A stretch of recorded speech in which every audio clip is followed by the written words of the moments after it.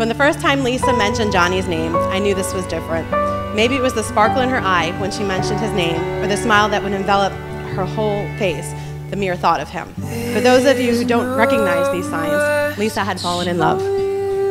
I believe you all would have to agree. Lisa and Johnny def definitely took the road less traveled on this journey called life. They have persevered through the years and overcome so much to keep their relationship alive.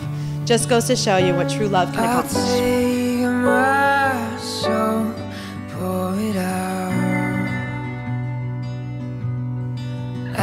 At your feet.